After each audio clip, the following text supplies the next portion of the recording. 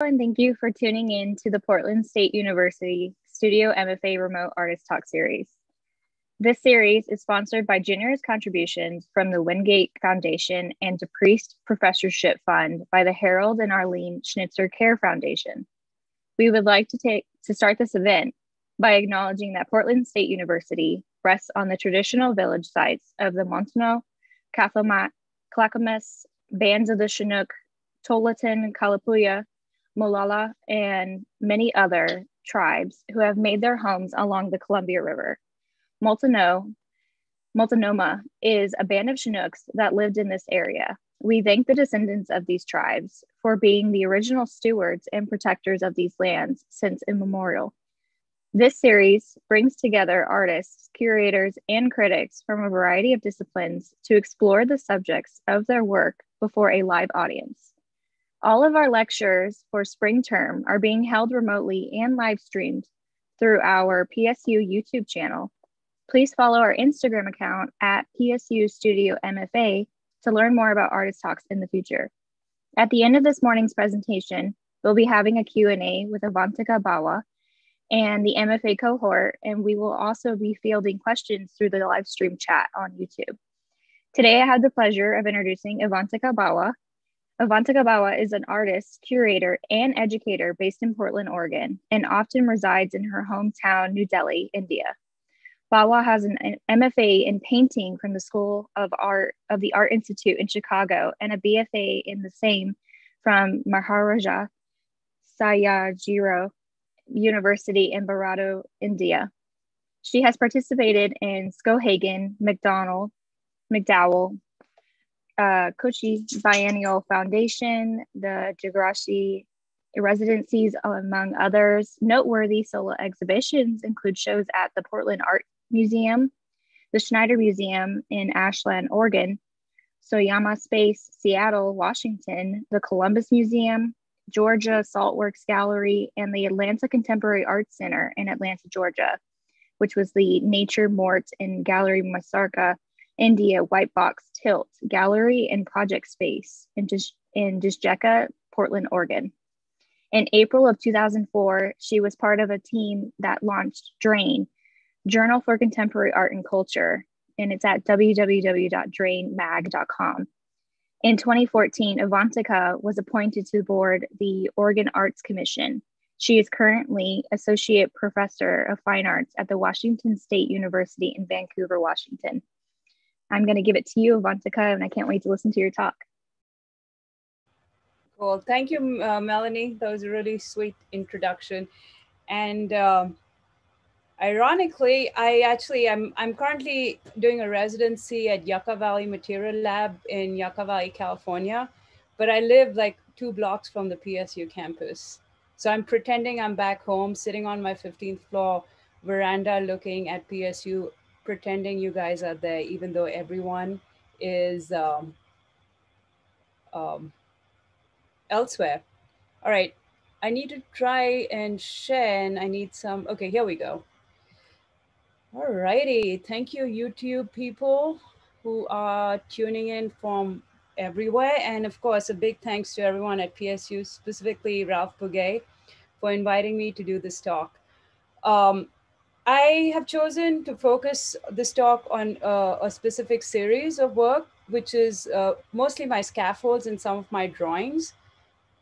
But a lot of my other work is available on my website, which I recently redesigned through Squarespace, and I'm very proud of it, so check it out.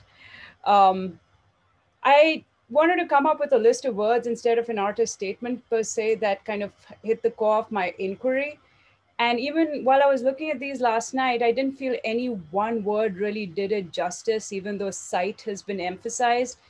And I asked myself, if you had to describe your work in one word, what would that be? And I, I came down to the word essence and simple, but simple sounded a little lame to put out there. So I stuck with these that aren't necessarily that simple a list, but you'll see how they're kind of intertwined and uh, fuel the core of my practice. And this practice of mine is, is one where I'm really interested in drawing because it is a very intuitive and immediate and primal act. But I also like to see things that are more physical. So the intersection of drawing and painting, movement and stillness, functional and the non-functional, when they collide, that's where my practice emerges.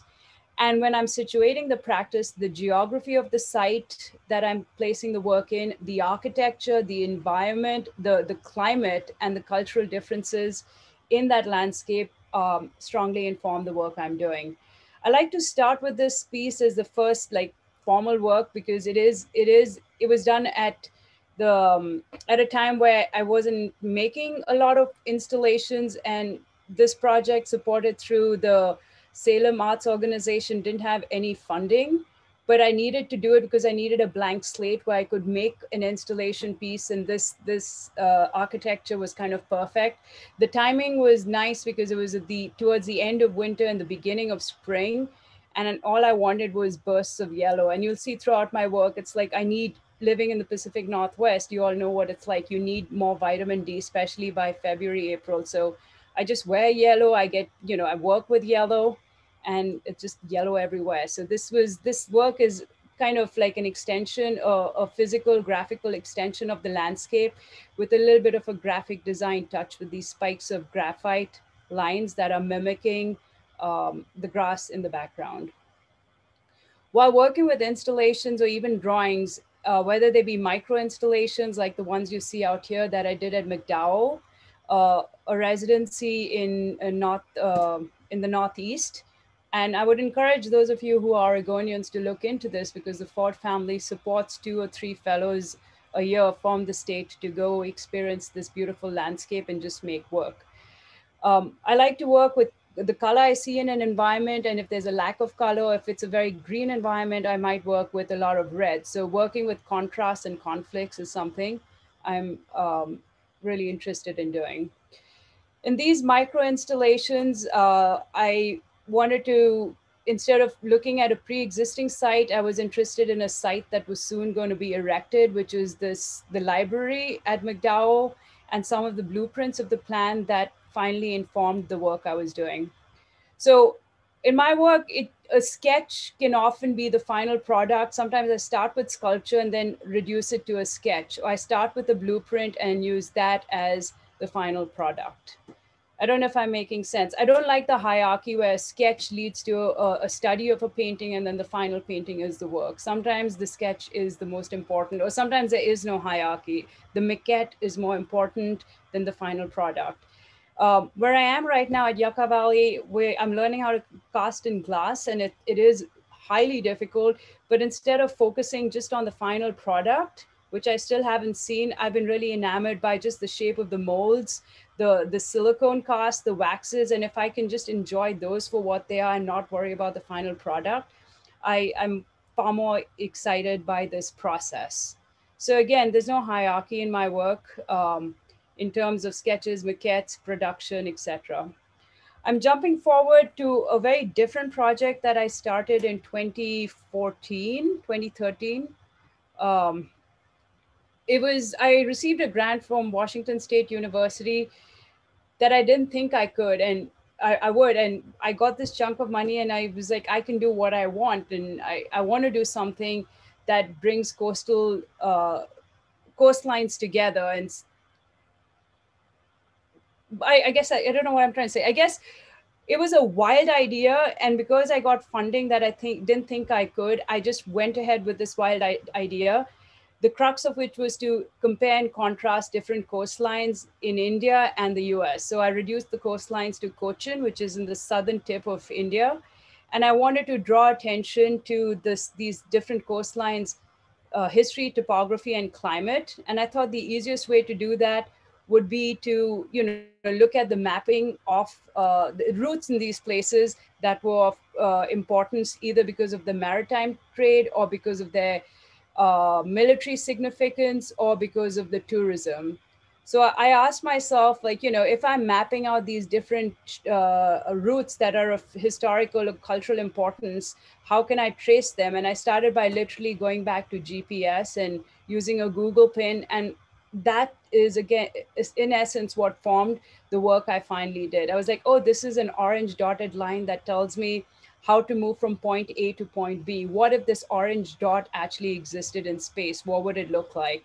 So I uh, worked with an inflatable company to design this big orange ball. And I took the ball throughout these different locations in Cochin, in India, and then brought it to Annapolis and Baltimore and eventually Astoria.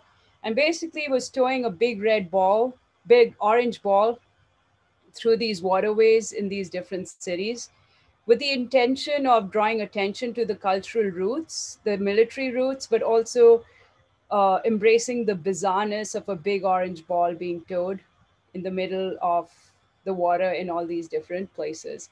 So this this video is a little bit long and things take a little while to load. So I'm going to scrub through it.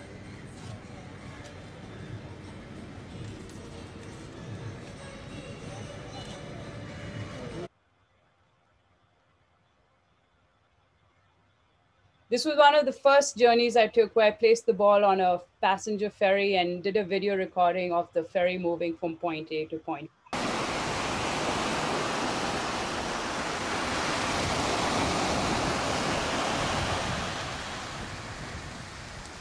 In this video, I was looking at the routes that the local fishermen take and I also wanted to kind of uh, create a sense of the ball just disappearing into the horizon, recalling some of Bas Jan Ader's work.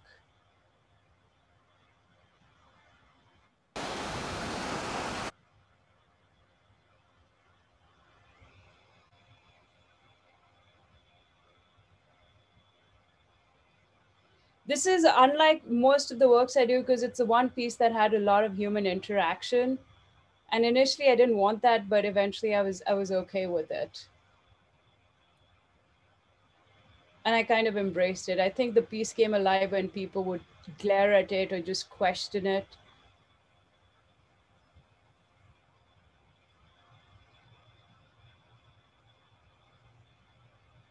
Sorry for my slow scrubbing so this is in Astoria, and I was watching this video last night, and I know the ball is out there somewhere, but even I couldn't find it. But when it's on a larger screen, you can actually see that.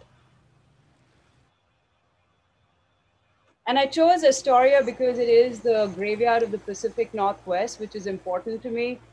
So just like Christo did with his umbrella piece years ago, comparing a landscape in Japan with that in California by planting blue and yellow umbrellas, I was kind of attempting to do the same having a conversation between these three coastlines that didn't really have anything in common. But my work was aiming to draw attention to aspects of these coastlines. So this is Annapolis. Annapolis was one of the first cities I visited outside of Chicago when I came to the US. And I, it struck me because it is uh, where the um, uh, U.S. Naval Academy is, and I grew up in the Indian in an Indian naval family, and that that that uh, comparison or that parallel was of interest to me. Ironically of all the places i've towed this yellow or uh, this orange ball the place that gave me the least grievance was um, was uh, annapolis. Everywhere else i had to get permits or justify why i wanted to tow a big orange ball across the coastline. There you see the naval academy. And when i went to them for permission they're like what what do you want to do? I was like i want to tow an orange ball across uh, your waterways they're like okay. I was like is that it? They're like yep. And then one one of these last shots is really nice. So this is now in baltimore um, and this waterway opens into the chesapeake bay. I i'm not doing justice by scrubbing through this really fast because the beauty of this piece is watching it kind of slow but of course, in the interest of time, I'm scrubbing through it kind of quickly. But I want to end with one of the last shots. This was really sad and really fun too. This this guy I met, Brian, and he attached a GoPro, and this is December. It's freezing cold, and he was, you know, like, oh yeah, I can do this. But then something crazy happens.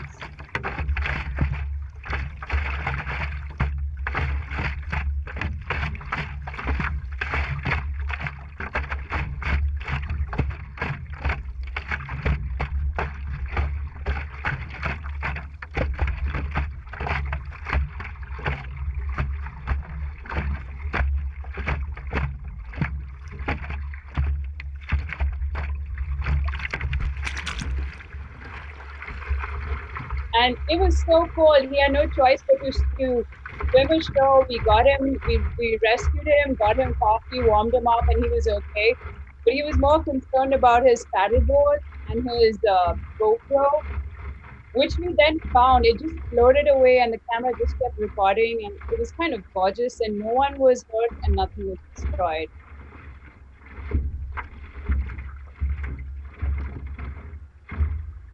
Anyway, so that's that's a little um, viewing of the video of aqua mapping. Uh, after making the video, I, I created a few digital stills and made screen prints out of them. And the screen prints involved little dots of orange because I wanted to play with the idea of pointing and marking something that was already mapped out. I like the tongue in cheekness of putting a dot on a thing that's already there and obvious. So these orange ovals you see out here are screen printed onto the work. Through that work of pointing and mapping, I then created a series of more prints for a show that I did in Mississauga, which is a suburb of Canada. Uh, I was invited to do a show called exactly this, which is the area code of India and Pakistan uh, the two countries that have a lot of immigrants and people in, in the city of Mississauga. Um, so when I was invited, the curator said, I want you to do something that reflects Mississauga, but I don't have the budget to bring you in for a site visit. So the way I did my site visit was through Google Maps and, and the internet. And the, the image of Mississauga that kept coming up was this building, which is the Absolute Towers. And I knew I was going to work with it and i was like what is it about the, this this tower that i like so much? And it's clearly the curves and the awkwardness of it. And i said all right i want to draw attention to this and this. And I, I literally it was just a very literal tongue-in-cheek response to pointing at the very obvious aspects of these twin towers of these uh, these absolute towers. Um, and these prints were made at Anderson Ranch, which is uh, a residency in um, in Colorado. The irony with this, and there's an interesting story, is when I was pulling these photos from the internet and printing them at a high resolution, I didn't realize, I realized as I was working on them that I needed to get clearance from the photographer. And I eventually did. And I was like, look, I want to use your work to make these prints. Is it okay? And I was, it was like, I was a little concerned because I kind of started the work, but I knew if I hadn't got an okay from this guy, he would, I had to destroy the work. So I stopped him a little bit, or I found out a little bit about him. This thing's being recorded, so I need to be careful. And long story short, turns out he was very interested in visiting Portland. So we became friends and and then we ran a marathon together, the first one I ran. And he allowed me to use his prints.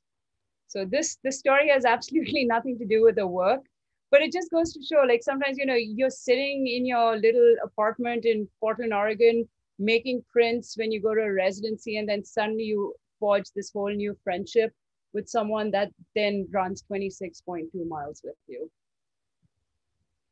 So uh, most of my work doesn't involve curved shapes, but these few did.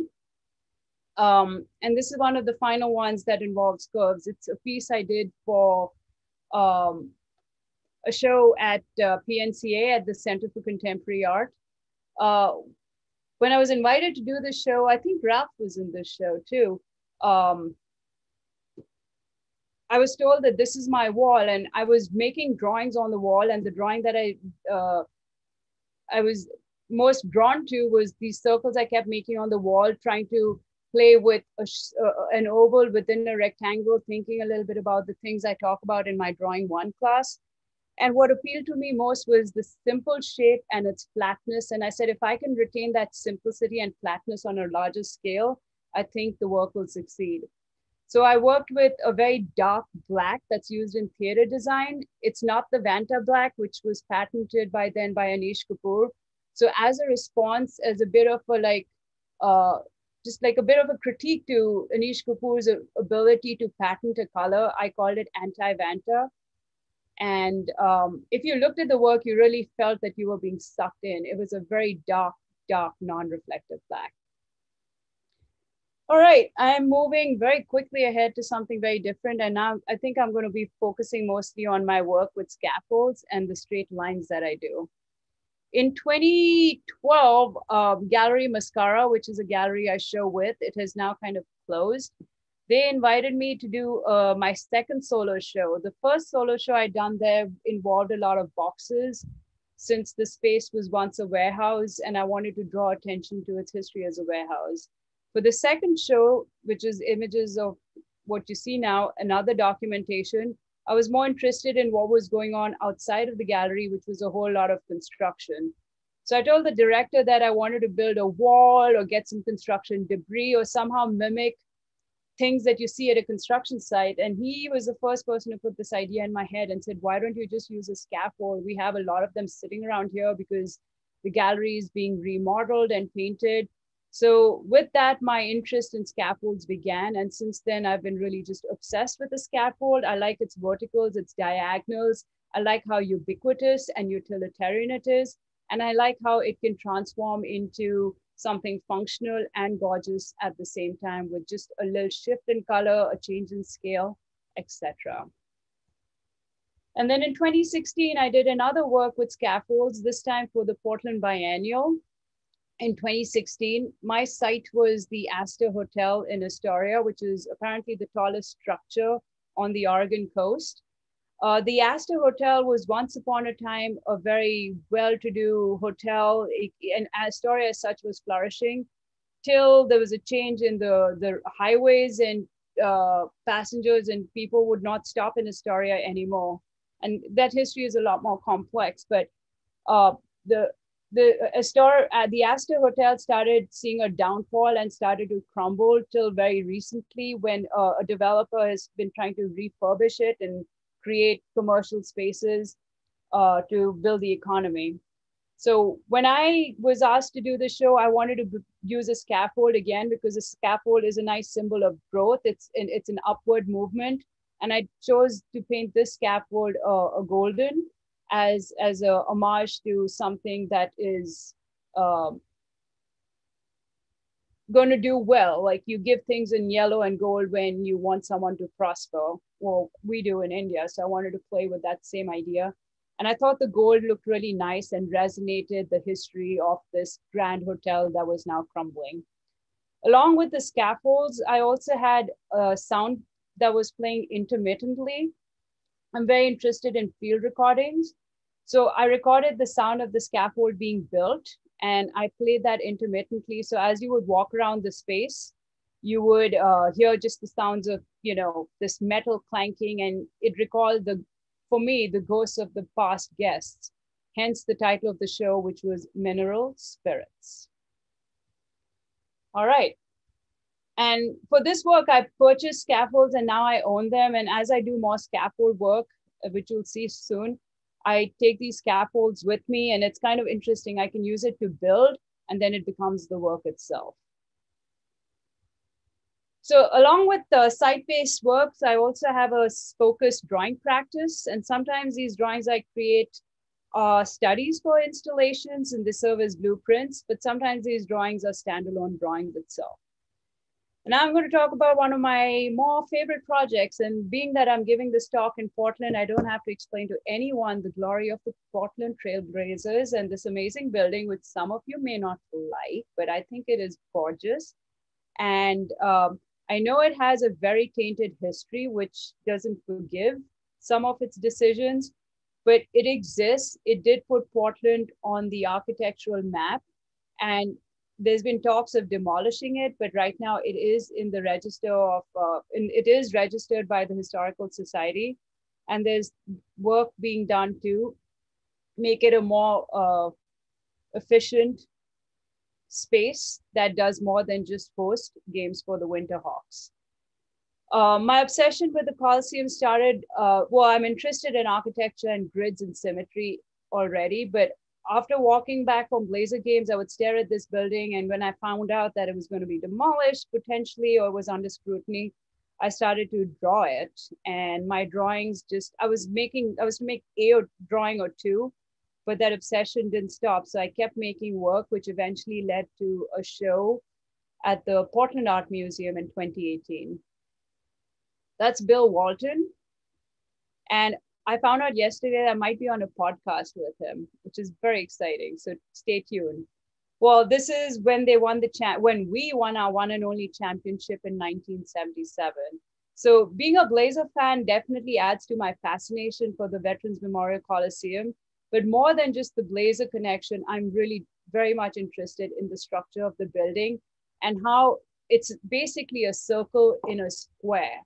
And that's li- literally how you can draw it. And what was fun was like, I didn't have to think about what I want to make. I had a building and I could draw it directly the way I saw it. I could distort it if I needed. I could make prints of it, which I did at Pro Shadow, or I could even make a book of it, which I did. So this is a limit. This is my first artist book that this interest in the Coliseum allowed me to make. It was a collaboration with Martha Lewis, who's a designer in Portland, and it included text by Brian Libby, who's a who's a uh, architectural writer, and um, and also Grace Kook-Anderson, who I think you guys have had in class too.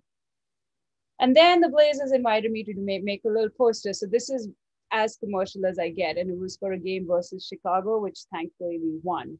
Um, and for the poster, I decided to hint at the architecture of Chicago and Portland, as you can see out here.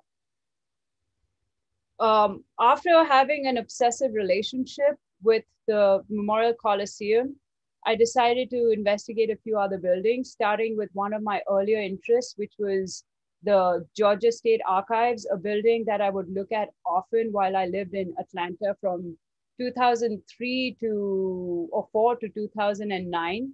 This monolithic marble structure was built in 64 and demolished in 2017 because people thought it was sinking the land. I want to think that they were incorrect because this, this monolithic marble structure should not have been destroyed. It was just simply blocky and gorgeous and, and kind of brutal. It, it, it stored the Georgia archives, which is why the name, and it had no windows, and you could see it from anywhere. So for my second obsession with the building, I started to create drawings with sketches. And these were sketches that started in about March, April last year during the pandemic, where I couldn't go to my studio initially. So I had to work on a smaller scale and just keep making drawings of the same building over and again, over and over again, with just slight shifts in scale, etc. And once I could get to my studio, I made larger works with graphite on paper and the black in the background, which is all acrylic. And all of these drawings were eventually shown at a show called um, Ice Ice at the End Gallery in uh, Atlanta, Georgia. And I might still make more drawings of uh, the Georgia archives, but for now I'm taking a pause. Um, there's another building that I'm obsessed with, and it's a skinny tall building in Manhattan called 432 Park Avenue. Um, it's a skinny building. If you look at the Manhattan skyline, it just sticks out. And currently it's under scrutiny because people living in there think it's swaying and it's it's risky, but it is an architectural marvel. And uh, there's images of it on my website, but I'm going to move ahead to my last two installations. So this is an installation I did last year, and just like the aqua mapping uh, installation, it, this came out through a really wild idea. I was driving back from Pendleton, Oregon to Portland to receive a fellowship, and an uncle of mine said, You're getting this fellowship, and what are you going to do with all this money? I said, I don't know. For all I care, I'm going to build a pink scaffold in the middle of a big white field. And that was the crux of the idea that came to me just while driving and pulling over. And then um, uh, I knew right then that I had to make the idea happen. So I went to India to explore the salt flats and started. I I, I was very lucky. I met the right people who had a factory and they were looking to do something with an artist. So it was literally a wild shot. And months later, here I am. I arrive in Kutch, India. I've had conversations with these people and they have a crew of people ready for me. They've organized new scaffolds because obviously I'm not going to carry my scaffolds from the US to India. While my scaffolds are being painted, I'm in this factory looking at all the empty containers, using them as Lego sets to finalize the formation of my scaffold, coming up with permutations. I knew I was going to work with pink. I didn't quite know why. It was my first intuitive choice. But in closer uh, uh, thinking, I realized a lot of that pink came from the landscape, the flamingos of the neighboring grasslands, and the, the shocking pink that is seen in the embroidery of the Rann of Kutch. And of course, in the morning, there's a beautiful glow in a, in a desert, and I'm seeing it now at Yucca Valley too, the glow of the, of the sun as it, as it emerges and the pink that it creates in the landscape. So it was a no brainer that I was going to work with pink. Then, of course, I was obsessing about what kind of pink. And here I drove. This is how we get paint in India. We don't have Home Depot style cards where you can multiple choices. You choose and you go with it. So this poor guy had to do pink tests for me, and we were making different combinations. And I guess we finally arrived at this one. And then started painting. And it was this is the most help I've ever had in any with any installation. And I was spoiled because months later I came back to the US. Well, a month later I came back to the US and had to paint my scaffolds myself. So here we are all lined up the the hardest part with this installation was actually carrying the scaffolds to the site every day because this is on a big white open landscape. You can't really drive after a certain point. So we spent three days just carrying the scaffolds and i carried the scaffolds with the nine ten guys that were helping me. It took us three days to just get them out there. And gradually and slowly and as you can see we don't really believe in safety which is terrible. These guys while they were doing the earlier stacks didn't bother with hard hats. They'd only wear their hard hats and proper shoes if a supervisor was coming to check on them. And they were like, look, you know, we're doing our job back off. Tell if if anyone gets hurt, it's on us. But I was, of course, very, very concerned as they were painting, building, and as you can see, going really high up. There is a supervisor on site who I think by the time we reached this level, I also put my foot down and was like, you need to wear your hard hats with this installation what was interesting is like you know these guys are day laborers from the neighboring villages. They do what they're told. They're not necessarily into art. And they they would say madam what is this you're doing? What did why are you doing this? Is it is it are you going to have a show in here? I was like no. I said just just wait and see. And every day at five when construction or building would stop these guys would leave. And the second day as soon as we were done and we had been built it up to about two levels all of them just stopped and started taking photographs and selfies. I was like, why are you taking photos? This is just a pink thing, as you said. They said, no, no, no, this is really pretty. We want to take a photo and send it to our wife and child back home. And they're like, now we understand why you did it. So that to me was way more satisfying uh, a response than any kind of maybe review I've gotten because just someone not really aware of what I was trying to do got it and it, it just made them happy and made them smile even if it was just for a moment. So here we are, a little more of the build up. That's my crew. Very cool, guys. And then we had a mini opening where people, tourists from the local area came by and they just flocked to it and they're like, what is this? Like, these people weren't expecting, this isn't Artec, Desert X, or nor is it Burning Man, thank God. And they're like, what the heck is this thing? I was like, it is what it is. And they're like, is it a selfie point? I'm like, call it a selfie point if you want, but it is what it is. Enjoy. And they enjoyed it quite tremendously. And this was one of my most epic shots that I didn't expect with the night sky. And I'm going to scrub through some of this. It's a short video.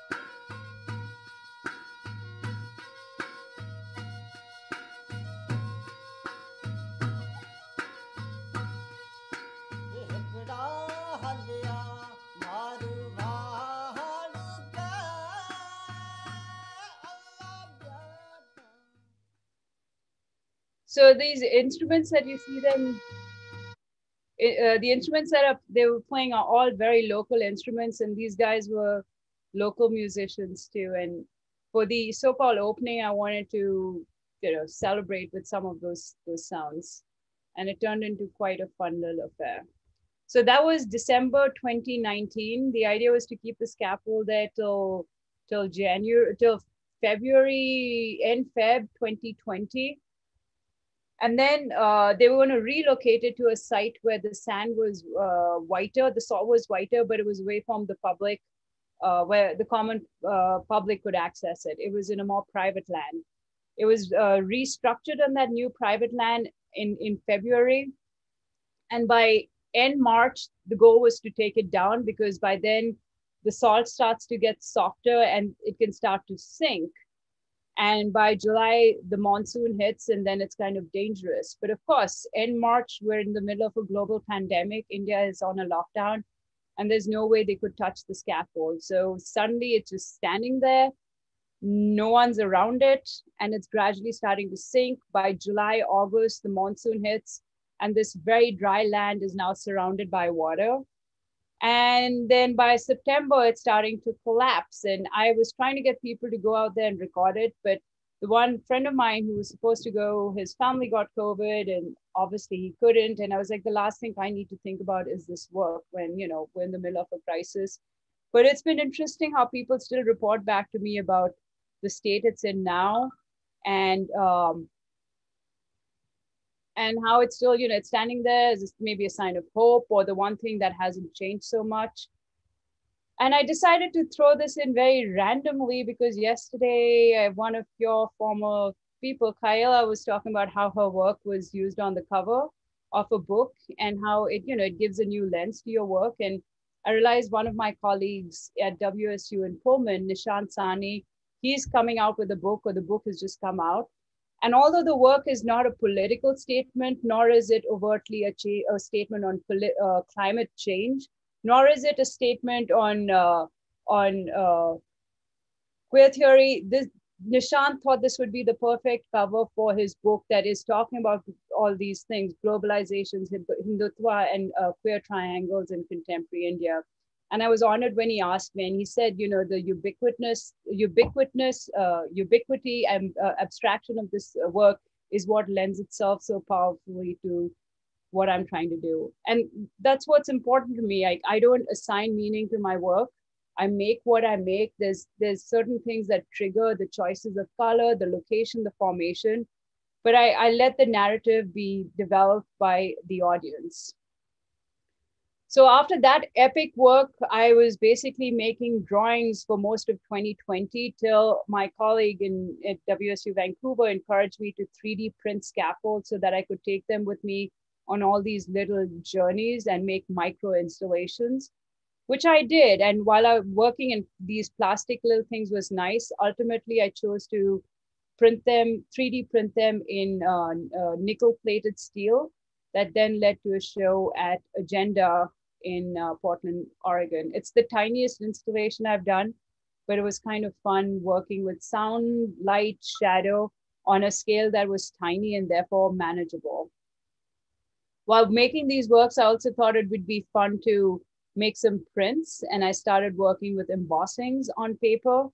Um, while I was making the embossings, I realized that some of the fragments of the, the scaffolds that I had were broken, and instead of printing new clean ones, I wanted the history of the original plastic scaffolds to be literally embedded in the work itself. So this is the work I did earlier this year. And most recently, I've been, I finished this project, which started in, um, which is in Ashland, Oregon, and it's part of Art Beyond, an outdoor adventure. Kind of like Desert X, but having seen some of Desert X, I think Art Beyond is better. So I encourage you guys to go to Ashland sometime in the next month and a half and see some of these outdoor installations that are from artists from Pacific Northwest and all over California. Although this wasn't an epic piece like the one I did in India, there was something really nice about going wider and lower and creating it on a ranch where goats and human beings roam freely. And the goats came and visited my work, which was fun. This is a little hint of the install of the piece. I was very grateful to the students and faculty of Southern Oregon University who helped me make this. And they were having a wild time too. They were like, we've been cooped up for so long. It's nice to get out and do some physical work. So I was like, go there, jump as much as you want. And the student, she's like, can I jump around in my clown outfit? I was like, do what you want. And we got some really lovely shots in the process. And next, uh, in June, I go back to Ashland. And on the 5th of June, Terry Longshore, who's a musician, is going to create a performance in response to the scaffold and on the scaffold. Him and his ensemble of six guys uh, created a sound composition called Scaffolding the Clouds, something like that. And they're going to be using drumsticks to hit the scaffold. That's the view of the yellow scaffold as you exit the ranch. These are some fun little visitors. And that's the end of my talk. And I, I hope I didn't rush through too many things, nor do I hope I talked for too long.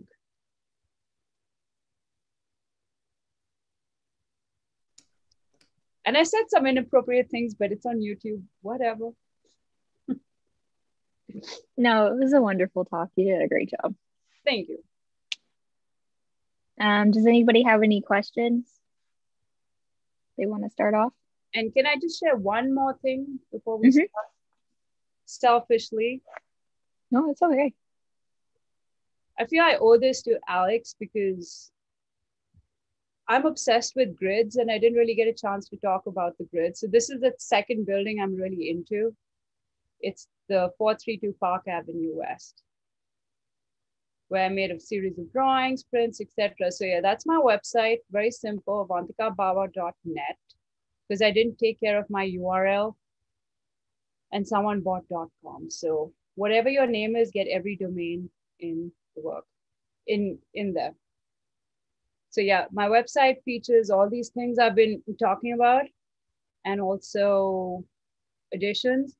If you're a musician and you have a Bandcamp account, I feel really cool because I have a Bandcamp account too and I have only two followers. So help me change that. All right. That's all I got to say. But questions, please. Yes. Sophia. What was your um favorite project to work on? Oh my. it's I go back and forth. Like I love the big installations where you meet people. Like I'm a huge extrovert and I like traveling and I like working with educational institutions like at Southern Oregon because students are great and you know. But I also enjoyed working with all those guys in in in, in India for both the project with the orange ball and the pink scaffold. But so i the pink scaffold was definitely great but like you know i didn't get to do as much physically. I was planning it. It, it was where i was most physically removed though i did do some work likewise with the yellow. So i like the the scale of those things but there's something very satisfying of the, being in the studio by myself obsessively making grid drawings or just making the perfect line where it's just me myself and i and it's kind of monistic so I can't say, I, I don't know. I liked working on all the works I did for the Coliseum series. The pink scaffold was definitely great. Every every experience is unique. Thank you. Yeah.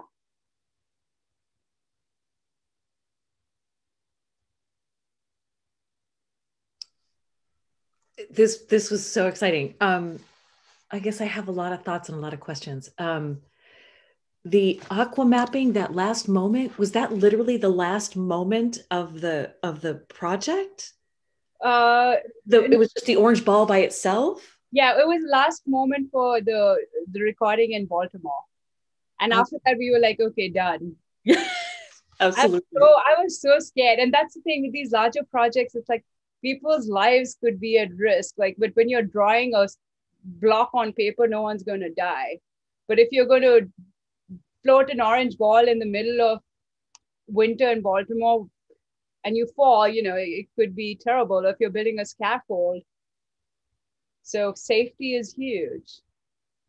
And yeah and why was the why was the the graveyard of the pacific northwest why was that important to you i live i i, I live here and I, you know, I, I, as I mentioned earlier too, I grew up in a naval family, so getting out on ships and boats. And when my parents visited, my dad was really intrigued by uh, why Astoria is such a hard place to navigate, and apparently it's something sailors all around the world talk about.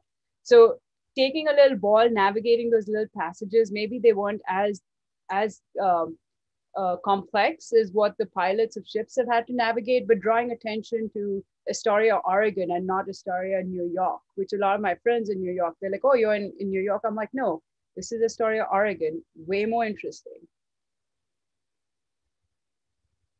I mean, there's many other coastlines that I'm interested in. I could spend two years just taking the ball and floating with it, pitching.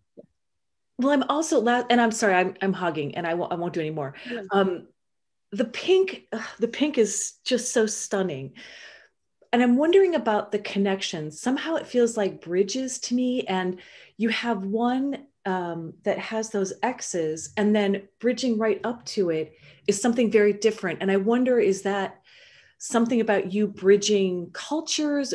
Um, what's the the thought behind that?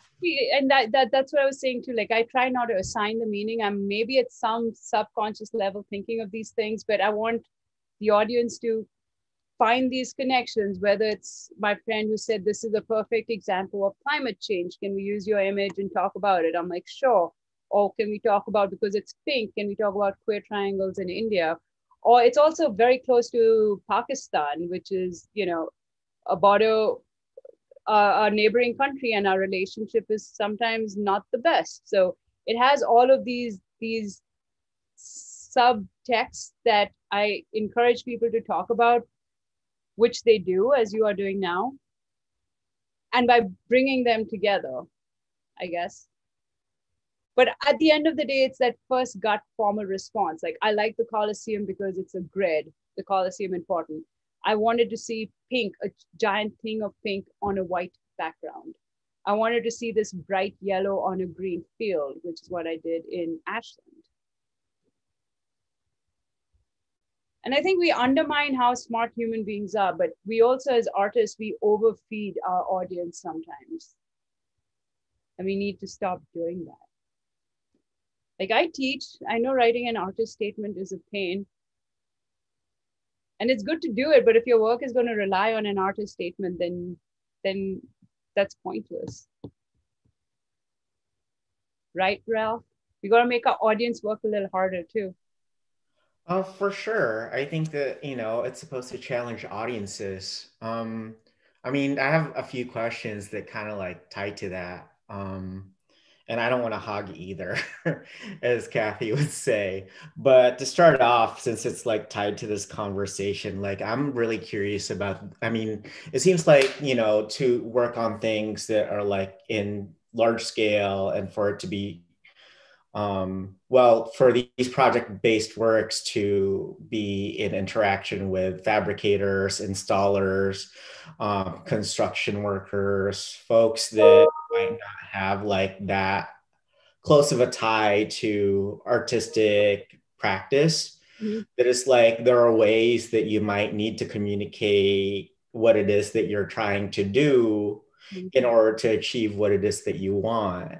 Mm-hmm. And in many ways, you're working in like it it in abstraction, right? And like geometry and like abstraction and geometry can oftentimes, it's not opaque for like an art audience, but it can oftentimes be opaque for like non art viewing audiences.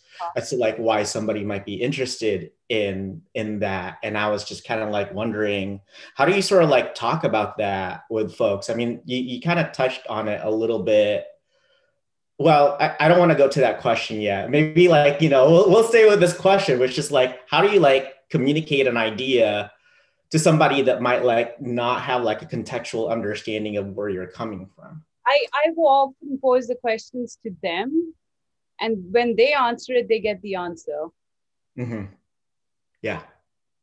Can you, can you give an example of that?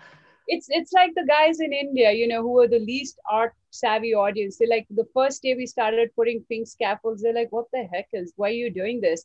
by the second day when we went up to two levels and they stepped back and they saw it look really beautiful they were like we can't explain but we really like what what's going on out here and then one guy even said art for art's sake i was like dude good like yeah literally art for art's sake um and i think sometimes people do want narratives and you know if i say yes i chose pink because of reason a b and c. I chose a scaffold because of c d and e.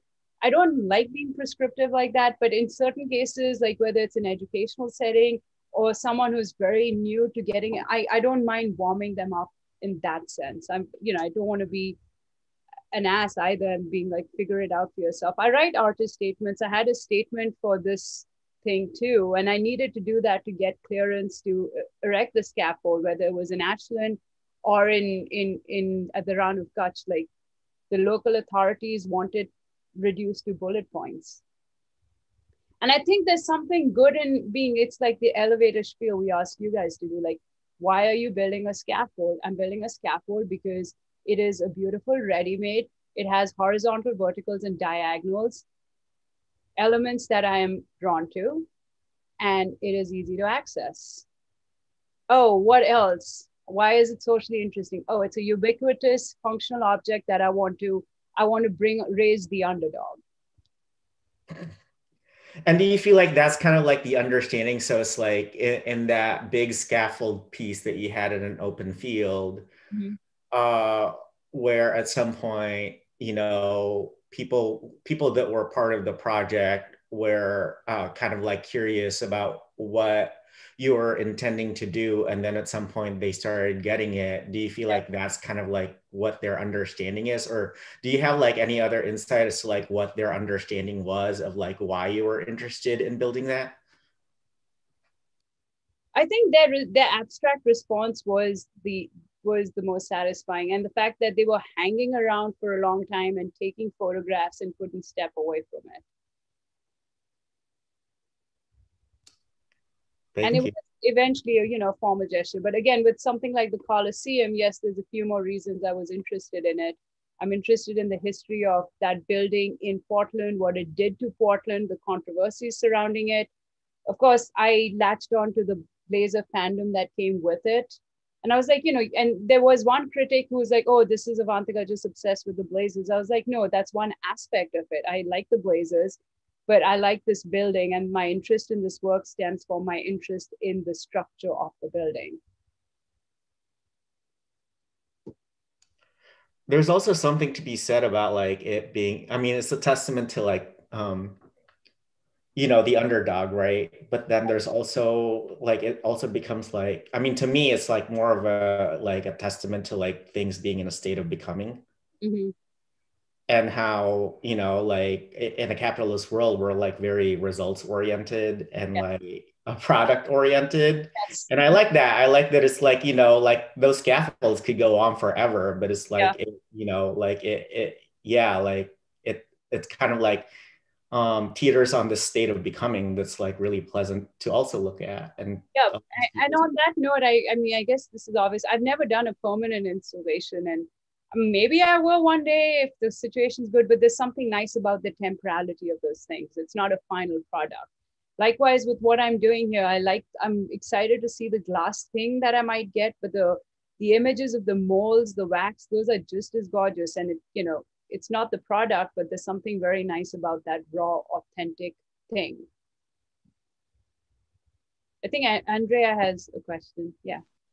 Yeah, um, thank you for your presentation. I love your work. Um, I am wondering if um, what the bridge is between the scaffolding and drawing for you, uh-huh. Um, because they're very much like um, realized drawings out in the world, which is really cool. And uh, I was wondering if you ever draw your scaffolding as architectural spaces after they've been erected, or if you have drawings of them um, or schematics or anything. I, I, and if you have that same sort of, you said monastic uh-huh. uh, sort of space that that um,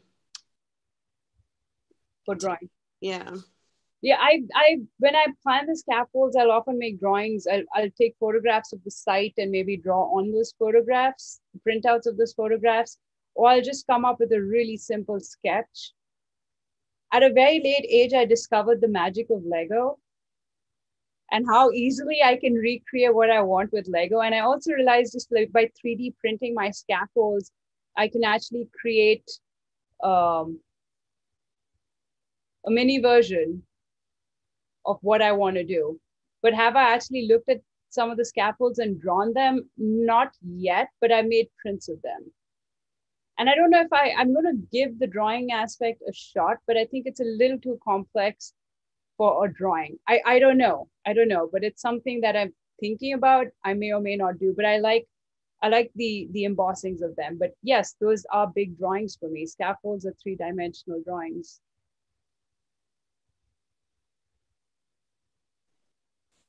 Sophia, you can go ahead right now if you had like a uh, I just had a comment on the Legos. Yeah. I used to build with Legos. So did you like use the mini ones or like the gigantic ones? Or because I remember I used to make mansions, and so I'm just curious, like what kind of Lego buildings did you build?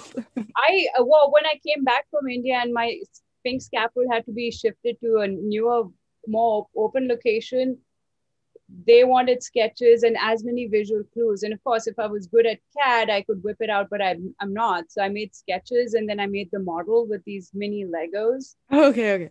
That I took for my friend's child.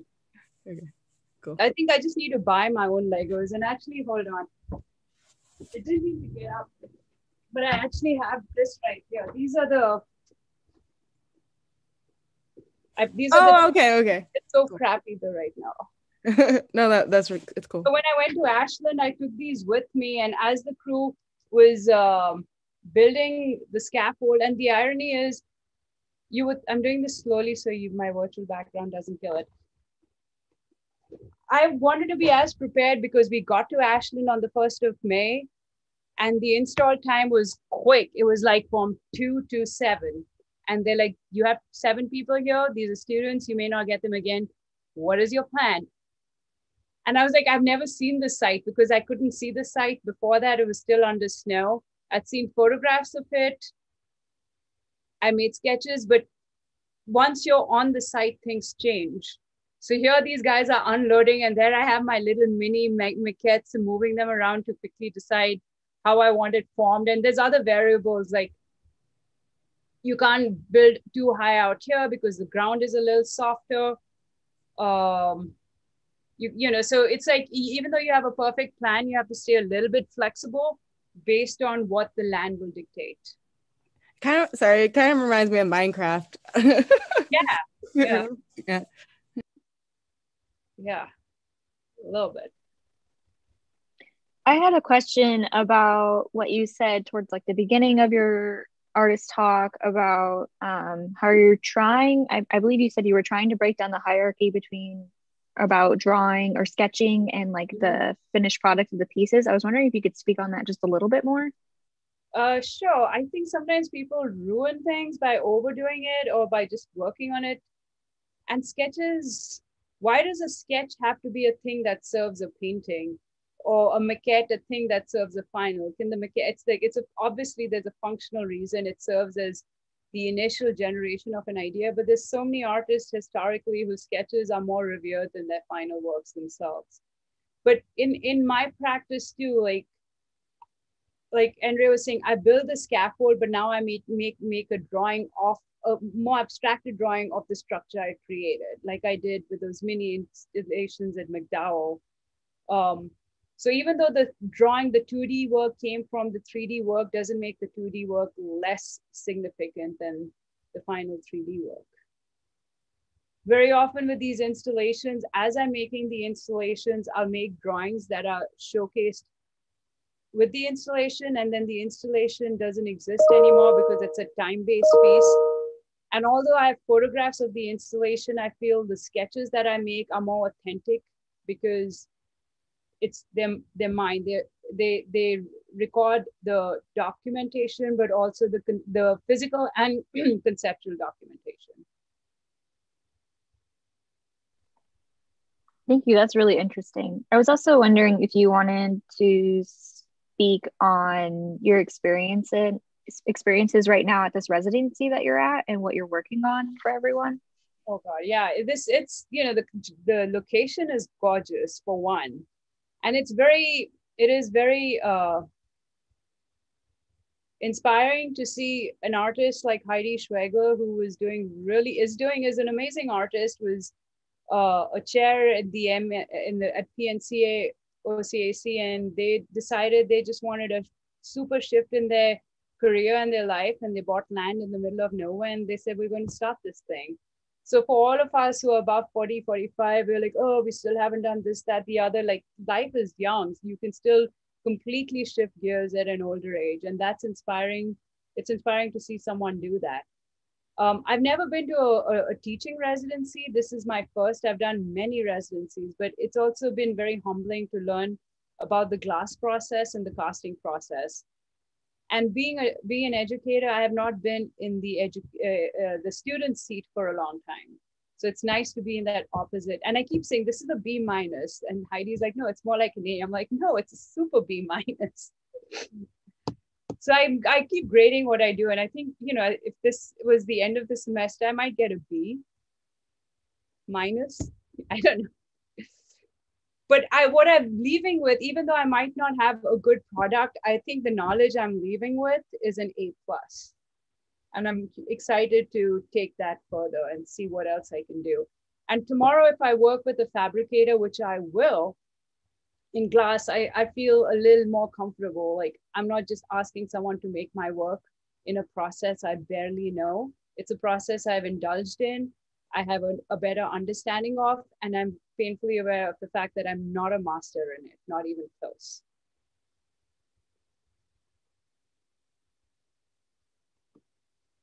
it's like when we were carrying the scaffolds in the desert like in, in the us you do all your work but in india there's like 100 people who will work for you because labor is cheap and those guys were surprised like every day when we were carrying the scaffolds from the truck to the site it was a kilometer which is about three quarters of a mile they're like why are you carrying you are you're supposed to sit and dictate i said no if you are carrying a scaffold i will too and and because i kept carrying with them you know, I think we went a little faster because they do like take a lot of breaks. I was like, no, I'm going. If I can keep going, you can keep going.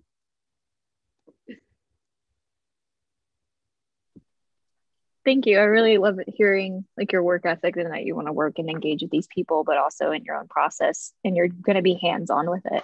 I was going to ask if anybody else had any more questions. I have one, but I can go after you. I'm mm-hmm. Oh, no, you can go ahead. I was just saying. Oh, yeah, I was wondering, I mean, guess my unsurprising question, if you could elaborate or speak more to, I guess, your interest in grids and then also sort of, which I know is like the broadest question, like there's so many different ways to go with it. But yeah. I guess where I'm particularly curious is uh, with, with how, uh, how much your work references architecture, which then references, which, you know, uh, the, you know, the grid has so much architectural, organizational, structural reference. Uh, so I'm wondering if maybe that was derived from architecture, if you had your interest in, in kind of if it was more foundational in art and then that transition to architecture or sort of where that started and how that kind of process? I, have never thought about it how i got interested in it but i know i, I have an answer now. But I, I, I, I like it because it's kind of foolproof. It's like one thing again and again and again and then repeat and again and again. It's almost like teaching especially if you've been teaching the same kind of class over and over again. It, it also parallels like this dogmatic life we live more, more so in the West with nine to five or nine to eight. And everyone has a schedule, everyone has a calendar, the calendar is a grid. There's something dogmatic and ridiculous about it. And I want to embrace that dogmatic ridiculousness by bringing it in my work. But I think some of the more exciting moments in my drawings where I use grids happen when the grids are seemingly exact, but they're clearly not. And for all artists who work with grids, I think this is something we enjoy. We're not making a mechanical grid. But uh, when I first came to the US in 99, uh, 96 and I landed in Chicago, I left from Baroda and New Delhi in India, two very chaotic cities. And suddenly, like, I'm in the middle of a grid in Chicago. Every street like I was living in a grid. I, I was fascinated by that. It was so easy to not get lost, and yet I did. But yeah, I like the simplicity and the ease of a grid, but also how not so simple it necessarily is when you walk through it or make it. Mm-hmm. Yeah, and then I guess kind of going off of that too is something else I was interested that you're talking about was kind of well, I, I, guess partially in reference to drawing with that immediacy, but then also with the scaffolding being somewhat of a ready-made uh-huh. and that ability to move through because I, I, mean there's definitely ways to work with a grid with the degree of quickness like uh, like your work has elements of that, but I, I guess well, and this is probably my own bias, but when I think of a lot of grid work, I don't think of immediacy as more of like a labored process. So I was yes. curious, yes, where that sat for you or yeah, how you process it. And so much mathematics. So I mean, since I started working on the Coliseum, which was one of the first works I did with used a grid, I realized how poor I'd become at math. And I come from a family of math geniuses, like my brother, my dad, my nieces, all outstanding. And I was like the artist in the family. I was decent at math, but not terrible but I had to take tutorials in basic decimals and calculations. And of course, the calculator helps. And uh, I don't know if you noticed this since you work with grids, like working with with the metric system is way more helpful right yeah. now, especially yeah. Yeah, I. But well, it's actually, it's, I guess on my own, it's funny you say that because I don't. I stick to standard because I like that it's kind of obtuse and like makes it a little clunkier and then also that it's kind of but like the history of it is more weighted in like bodily measurements and things whereas metrics so scientific so i kind of like that it is messy because i yeah i'm always like i should just switch to metric because the math takes two seconds instead yeah. i'm doing like the 0.0625 yeah, yeah, yeah. thousand times. Yeah but yeah thank you for answering those yeah but yeah the work is simple but you know it's it's what um my my friend and colleague Judy Bauman, who's a master printer at Crow Shadow, where Ralph was just now, she's like, Your work is so deceptively simple because some of the prints we did at Crow Shadow, we were really trying to get these flat fields of color, and it was not easy. So that simplicity is like even now, I'm just been spending three days trying to get a straight line in a mold so it's simple, it, but it's deceptively simple. Getting a flat color, getting a straight line, getting that perfect angle, getting that grid that's not just a little off. And even when you embrace that perfection, there will still be flaws. So knowing when the flaws and the perfection are in a nice conversation and to back off is is is important. Mm-hmm. Yeah, I yeah, I agree. I think yeah, having that, I think an element with Brizzy as having that humanness yes. or something, yep. some imperfection to it. Yep.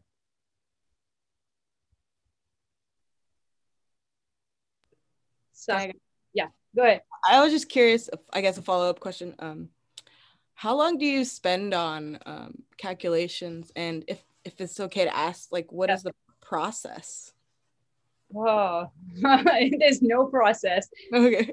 I feel I need to go to New Jersey and spend a week with my 14 year old niece, who's the math wizard, and just get like, how do you do this thing again? um, I think I start by literally sketching it out and then measuring it and making sure my my straight edge is clean.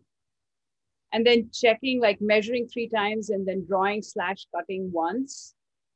Sometimes, like I'll take a photograph and I'll blow it up and then see the measure of the blown, uh, blown up proportion. Knowing that perspective can kick in. And this, yeah, it was interesting when I, I was at a residency at Ucross in 2017, trying to make this two point perspective drawing of the Colosseum. And I was struggling. And then I, I had a, this moment of revelation where I was like, wait a second, I teach linear perspective. And I need to, like, even though it's very dry. I love teaching it and I know the rules well.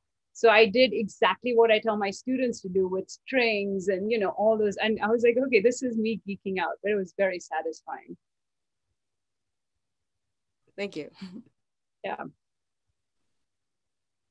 Yes, Andrea. Um, I was wondering, you're saying that you know the you like to break down the hierarchy of um, drawings and sketches. And uh, since your work um, walks the line of, you, you say perfectionism, uh, you know, finding that perfect, that sweet spot of a, a straight line versus a little bit of um, human wobbliness, I guess. How do you have preliminary do you make preliminary sketches for sketches or when you're going in to make a drawing will you know do you know that this is this is going to be the final drawing i i make sense. i will make preliminary sketches and sometimes the first sketch i make is the one that i will work with further but i i like to make a lot of quick sketches and then I set them aside and, and say, okay, which one of these sketches should I transform into a drawing? And then I even make notes like shift a little bit, darken this. And before I leave the studio every night, if I'm working on a drawing, I like to clean my table and leave a couple of notes that if it's like if I'm itching to darken one part of the drawing, I won't darken it, but I leave a note because when I come back, I want something inviting me right back in. So instead of leaving with a sense of finality, I leave with a little bit of, okay, when you come back, you need to do this thing first. It becomes a bit of a game for me. Drawing is a game and it's also surgery. It's like you have to use your intuition, but you also have to be very careful and calculated. And because of the way I work, I have to wash my hands a lot. So every time I stop, wash, sharpen pencils, it forces me to re examine things. And this sounds a little weird, but I've noticed like if I'm pissed at someone and I'm thinking about it when I'm drawing and I'm I there's there's always something goes wrong. So I have to be in a good mood or in a positive mood and not have any ill feelings towards anyone, which sounds really hokey, but yeah.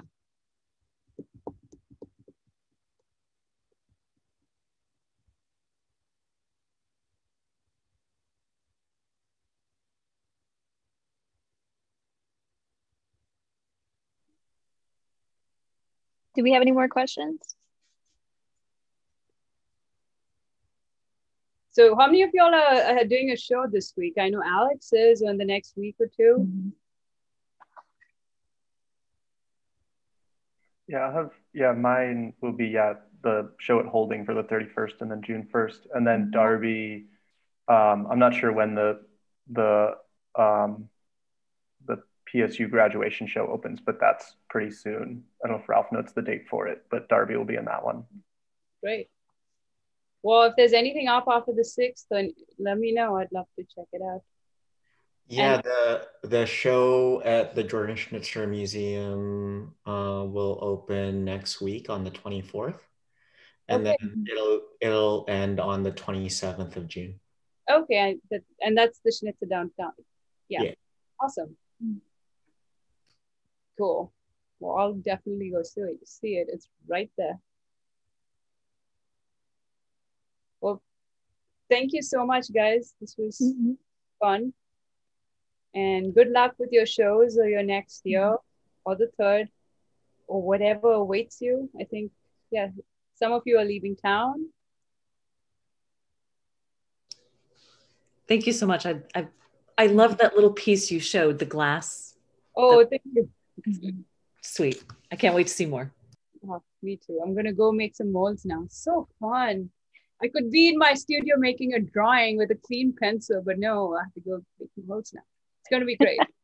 There's something nice about soaking your hand in plaster though when it's wet. Mm-hmm.